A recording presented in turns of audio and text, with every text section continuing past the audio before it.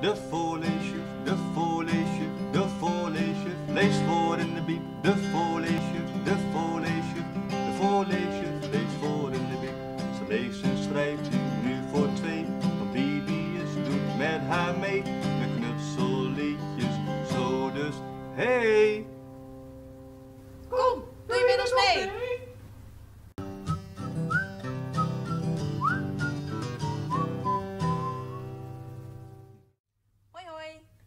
Dat je kijkt naar een nieuwe aflevering van De Voorleesjuf leest voor in de biep. Ja, ik ben alleen. Bibius is ziek, maar ik heb wel een mooie foto van hem. Zet ik die gewoon hier neer, dan is hij er toch, is hij er toch bij. En ik ga hem even bellen. Ik ga even vragen hoe het met hem is. Even kijken. Zijn telefoonnummer. 0800 Bibius. Gaat over. Hallo Bibius, met de voorleesjuf. Hoe gaat het met jou? Ja, ik hoorde dat je ziek bent. Ach, nee, je kunt er niet bij zijn, maar ik heb een hele mooie foto voor jou neergezet. Weet je wat we gaan doen? Ik leg de hoorn naast mij neer en dan kun je naar me luisteren. Dat is goed. Zo, zet ik de telefoon hier neer. Met de hoorn. Dan kunnen we toch luisteren. Luisteren jullie ook mee? Ik heb een verhaaltje geschreven over Lizzie. En Lizzie is ook ziek. Het is vroeg in de ochtend. Ik lig nog in mijn bed. Balthazar, mijn vliegende vriend, zit naast mij op het kussen. Lizzie, Lizzie, hoor ik Balthazar zeggen. Wakker worden. Langzaam doe ik mijn ogen open, maar ik doe ze snel weer dicht. Mijn hoofd, mijn hoofd voelt zo zwaar en zo raar. Balthazar, zeg ik met een krakerige stem, ik voel me niet zo lekker. Mijn hoofd doet pijn en ik kan mijn ogen niet open houden. Je voelt ook wel heel erg warm aan, hoor ik Balthazar zeggen. Volgens mij ben je ziek. Wil je mama even roepen? Vraag ik aan Balthazar. Ja, dat wil ik wel, maar hoe ga ik dat doen? hoor ik hem zeggen. Het is even stil en ik slaap weer in. Opeens hoor ik een hele harde knal en ik schrik wakker. Balthazar heeft een boek van de plank afgeduwd. Het boek is heel hard op de grond gevallen. Sorry Lizzie, hoor ik Balthazar zeggen. Ik wilde jou niet wakker maken, maar ik wilde mama roepen. Het duurt maar even en mijn slaapkamerdeur gaat open. Balthazar vliegt snel terug naar zijn, plant, naar zijn plant in de hoek van de kamer. Lizzie, wat een harde knal, wat is er gebeurd? Mama, zeg ik, ik voel me niet zo lekker, ik heb zo'n hoofdpijn en ik ben zo warm. Mama gaat op het rand van mijn bed zitten. Ze legt de achterkant van haar hand op mijn voorhoofd. Ja, zegt ze, je voelt heel warm aan. Blijf maar lekker in je bed liggen. En ze staat op. Ik maak speciale thee voor jou. Daar knap je snel van op. Mama loopt mijn slaapkamer uit. Hebba, zeg ik, de speciale thee. Wat is dat, speciale thee? hoor ik Balthazar vragen. Die thee is zo speciaal, omdat hij zo vies is, zeg ik. Maar waarom maakt mama die speciale thee dan? Mama denkt, wanneer ik de thee drink, ik mij dan sneller beter voel. Ga maar weer lekker slapen, hoor ik Balthazar zeggen. Balthazar vliegt de slaapkamer uit, maar ik ben te moe om te vragen wat hij gaat doen. Mijn ogen vallen weer dicht. Even later komt mama mijn kamer binnen met de speciale thee in haar handen. Ze gaat weer op mijn bed zitten. Ga maar rechtop zitten, Lizzie. Dan kun je je thee beter drinken. Moet ik dat echt opdrinken, mama? Ja, zegt mama. Hier knap je vast weer van op. En Balthazar vliegt, zonder dat mama het ziet, mijn kamer weer binnen. En hij geeft me een dikke knipoog. Ik neem eerst een slok van de speciale thee. Hé, hey, de speciale thee smaakt inderdaad heel speciaal. En ik drink het kopje in één keer leeg. Goed zo, zegt mama. Ga nu maar lekker weer slapen. Ze geeft me een kus op mijn voorhoofd en gaat mijn slaapkamer uit. Hoe smaakte de thee? hoor ik Balthazar gniffelend vragen. Niet zo vies, hij was wel lekker zoet. Balthazar, wat heb jij gedaan? Ik ben met mama meegegaan naar de keuken. Ze schonk heet water in een beker en in die beker deed ze stukjes citroen en groene bladeren. Ze stampte het aan met een lepeltje. Ik dacht, dit is wel heel speciaal en heel erg vies. Toen mama niet keek, heb ik een suikerklontje tussen mijn poten gepakt en in de beker gegooid. Dankjewel, Balthazar. Je bent een echte vriend. Ga maar lekker slapen, hoor ik Balthazar zeggen. Dan voel je je straks vast weer beter. Ja, dat ga ik doen. En ik val in een diepe slaap. Zullen we eens even horen wat, wat Bibius ervan vond? Misschien is hij ook wel in slaap gevallen. Bibius, ben jij nog? Ja? Vond je het een mooi verhaaltje? Goed, ga maar lekker weer slapen, dan word je ook snel weer beter. Dag Bibius.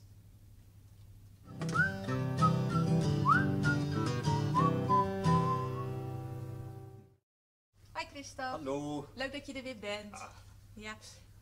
Bibius is ziek. Ach jee. Ja, maar we hebben een mooie foto van hem. Gelukkig. Zetten we hier neer. En de papegaai is ook een beetje ziek. Oh.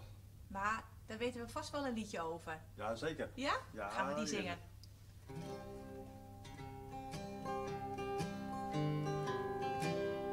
Papegaaitje, leef je nog? Ia, dea. Ja, meneer, ik ben er nog. Ia, dea. Heb mijn eten opgegeten en mijn drinken laten staan. Ia, Papegaaitje, leef je nog? Ia, dea. Ja, meneer, ik ben er nog. Ia, dea. Heb mijn appel opgegeten en mijn peertje laten staan. Ia, dea. Poef. Papegaaitje, leef je nog?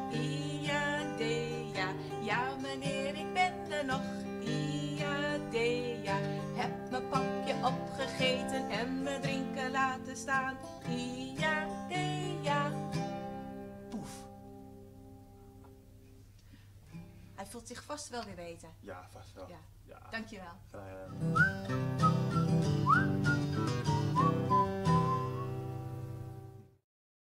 Adina, onze knutseljuf, heeft allemaal weer nieuwe dingen voor ons bedacht. Knutsel je mee? Hoi, leuk dat je weer kijkt. We gaan vandaag iets heel leuks maken met papier maché. Dit heb ik dan eh, zelf al gekocht. Ehm, en we gaan daar papiertjes op plakken. En dan wordt het ongeveer zoiets. Een dino helemaal beplakt met papier en lijm, waardoor het ehm, een glad laagje krijgt. Het wordt helemaal mooi glad. En er zit ook meteen een laklaagje op gaan we eens even aan de slag. Want het is eigenlijk helemaal niet zo moeilijk, alleen je moet de juiste spulletjes hebben. Ik heb Mod Podge, dat is een speciale lijm en als die droogt, dan is het ook meteen een laklaag.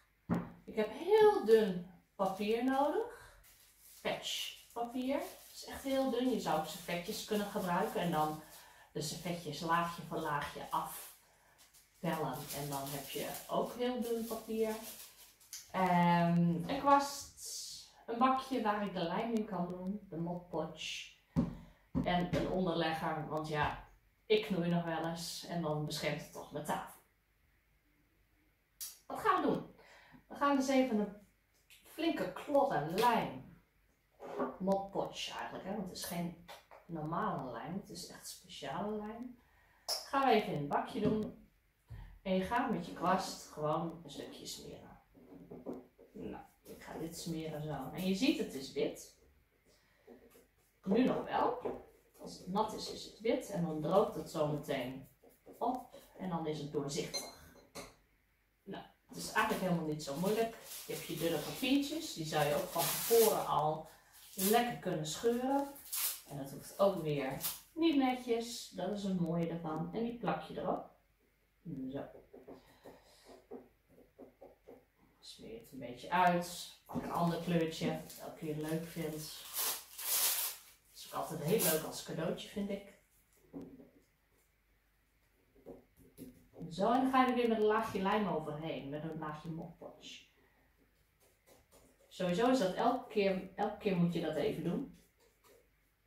Ook omdat hij dan mooi uitsmeert. Het papiertje komt er dan heel mooi op. Zo. En wat ik al zei, je kunt het best eigenlijk van tevoren gewoon heel veel dingen al scheuren. Dan kun je steeds smeren en plakken. En dan hoef je niet steeds te scheuren. Want op een gegeven moment dan uh, worden je handen misschien wel wat uh, uh, vies door de lijm. En ja, dan wil dat ook niet zo heel goed. Dus weer een ander kleurtje, een ander papiertje. Nou, daar nog een.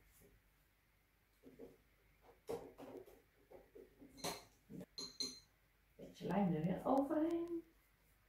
En dan gaat het ook mooi, volgt het ook heel mooi de vorm. Als je steeds weer met een laagje lijm en dan weer uitsmeert. Zo krijg je een hele mooie strakke vorm. En je ziet hier bovenal dat hij alweer een beetje opdroogt. En dan zie je de eigenlijke kleur van het papier zie je ook alweer terug. Nou, zo kun je hem dus helemaal mooi versieren, voor en achterkant. Ik heb nu even een klein stukje gedaan, want anders wordt het wel een heel lang filmpje. Als je dat hebt gedaan, dan uh, heb je dus zoiets als dit. En het mooie is, je hoeft het allemaal niet in één keer te doen. Je kan ook zeggen, nou na vijf minuten, ik ben er flauw van, laat je het even liggen. En ga je de volgende keer er gewoon mee verder. En dan uh, heb je een hele mooie dino. Of een leuke lama. Je kan het trouwens ook, ik heb het nu op papier maché gedaan. Ik heb het figuurtje gewoon gekocht in de winkel. Maar je kan ook op hout dit doen. Dat is ook altijd heel leuk. Bijvoorbeeld um, een sleutelkastje en daar wat van die papiertjes op smeren. Als het maar glad is, dan, uh, dan heb je een heel mooi effect. Nou, succes ermee! Doeg! Jos heeft altijd van die grappige filmpjes voor ons. Zullen we even kijken wat hij deze keer voor ons heeft?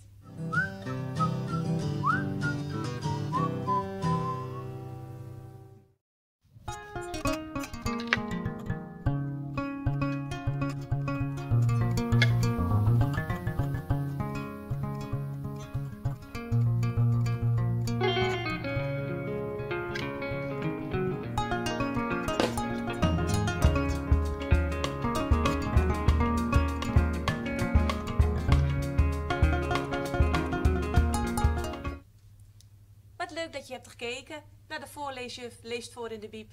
Zie ik je de volgende keer weer? Hoi hoi!